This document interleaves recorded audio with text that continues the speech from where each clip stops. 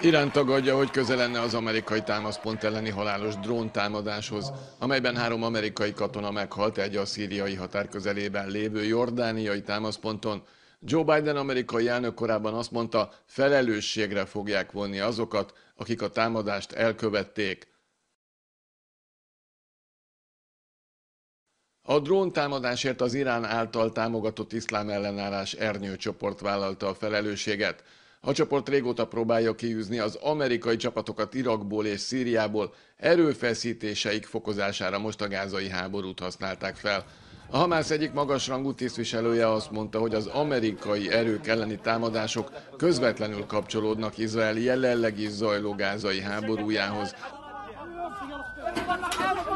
a tisztviselő azt nyilatkozta a Reuters hírügynökségnek, hogy a három amerikai katona meggyilkolása üzenet, miszerint ha nem szűnik meg az ártatlanok legyilkolása Gázában, az amerikai kormányzatnak az egész palesztin néppel kell szembenéznie.